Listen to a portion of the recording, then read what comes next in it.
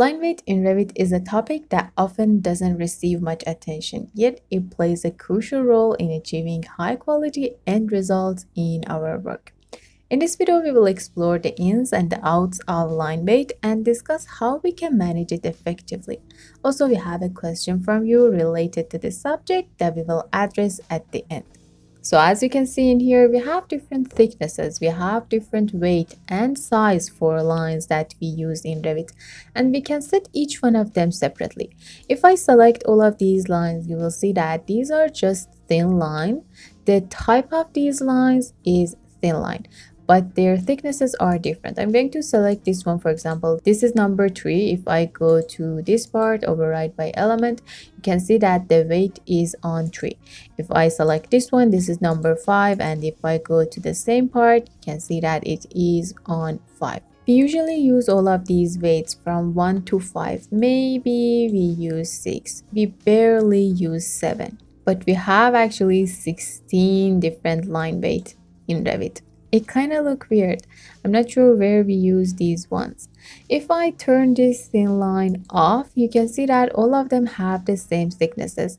And if I turn it off, we see them based on what we have them on sheets when we export them or when we print them.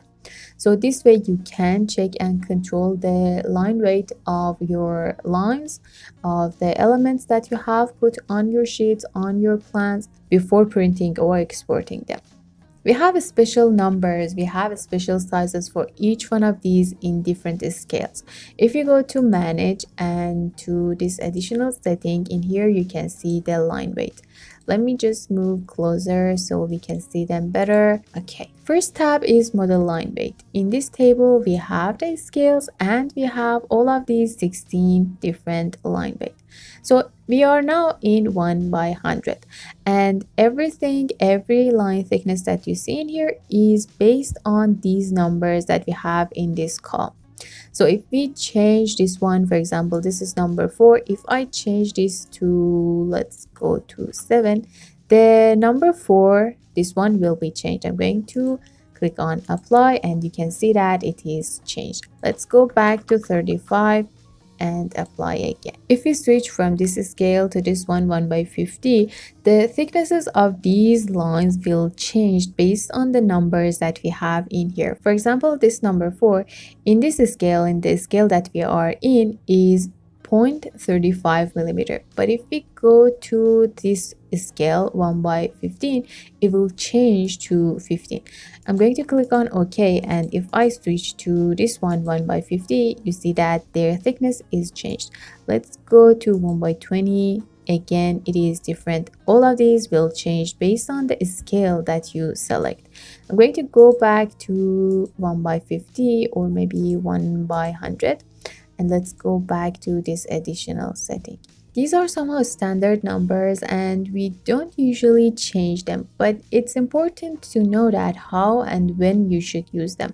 For example, maybe you are on this scale 1 by 50 and you have an object with this 9 line weight. Okay, let's say we have an object like this. When you want to print it, you realize that its line weight is too much. So you can come here and just simply change this one change this number instead of like changing it separately or changing it with the category itself. Second tab is perspective line weight. When we are in perspective view we don't have access to changing the scale so if you want, for example, a high quality export for the model you have created, you can control these thicknesses based on the scale. Okay. So in this way, for example, let's say you have a wall in 3D view, in perspective view, and you want to export it, but the thickness is not right and you want to change it, but you don't want to change the whole thickness of the view of your model, right? In this case, you need to check the thickness of lines of the wall and then you can come back here and just simply change this number to or for example you can change it. You can change the line weight of the wall to another number maybe to 7 and then come to here and switch it to for example 0.5 This way you can control the line weight of that specific category of that specific element in a perspective view. And we have the same for annotation line weight as well. You can control all of them from here too. I'm going to click on OK and let's go to a 3D view to show you how it works. I want to create a wall, a very simple wall like this. And also let's just add a window in here. I'm going to select it and put it on the selection box like this. If I zoom in, you can see different line weight in this part. Let me also hide this section. This is the line weight of the wall and these are line weights of this window. So how these are different, how we can know the line weight of different elements of different objects. For this, you need to go to Manage tab and to this object style. In here, you can see all of the different line weight of different categories of different models in here. Now we are in model object tab. So this means that all of the 3D models, all of the objects that you can add to Revit, you can change their line weight in this part.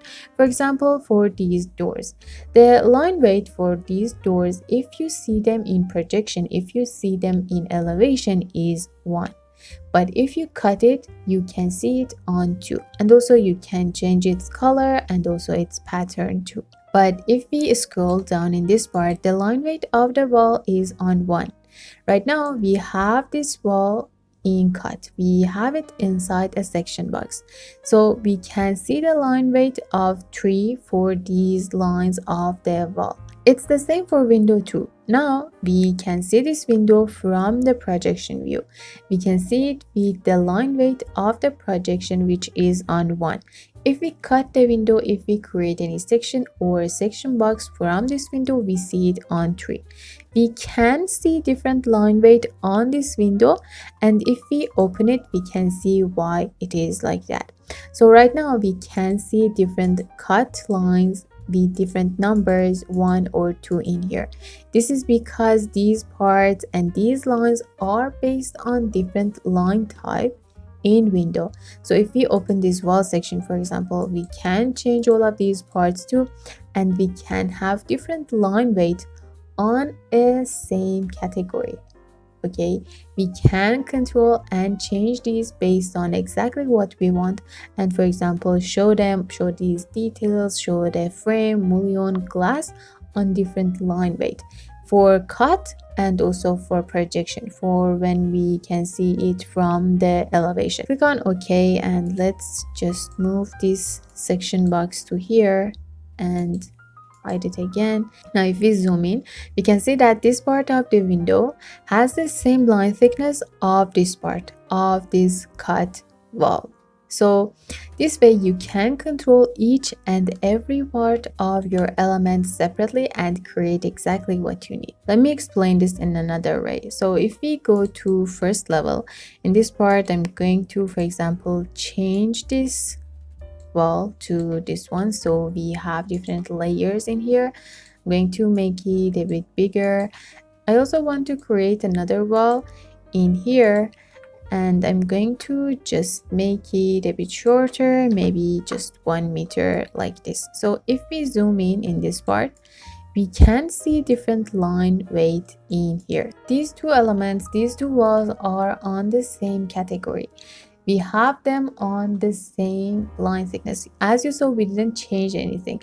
But we see this one this wall is based on the cut line weight number three line weight and this one is on the projection line weight is on the elevation. As you see the height of this one is on one. So it is under the view range. It is under the cut plane.